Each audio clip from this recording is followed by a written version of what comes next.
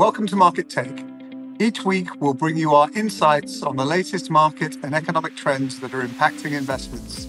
I'm your host, Ben Powell, Chief Investment Strategist for the Middle East and APAC at the BlackRock Investment Institute. This week, we highlight the opportunities we see in global stocks. The recent surge in Chinese equities shows the benefit of investing in global stocks.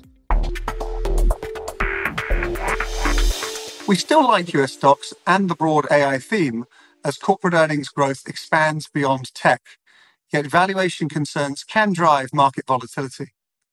This calls for adding global exposure where we see attractive relative valuations and where catalysts emerge.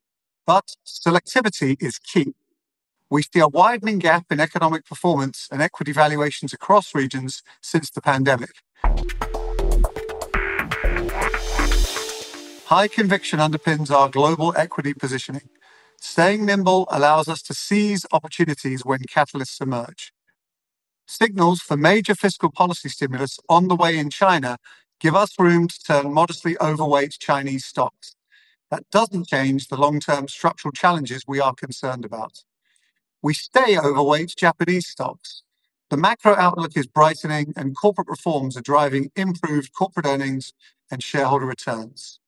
We are overweight U.K. stocks, but have less conviction as the economy stagnates heading into the new government's budget announcement.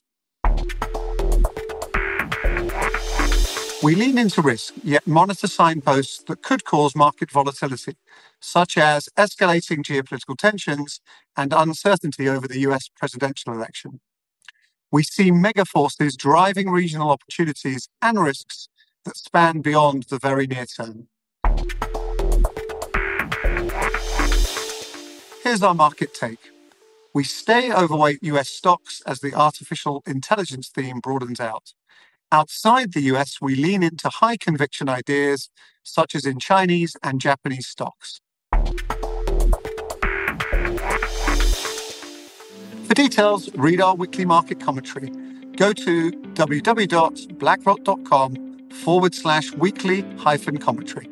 Thank you for tuning in. If you've enjoyed this episode, subscribe to Market Take wherever you get your podcasts.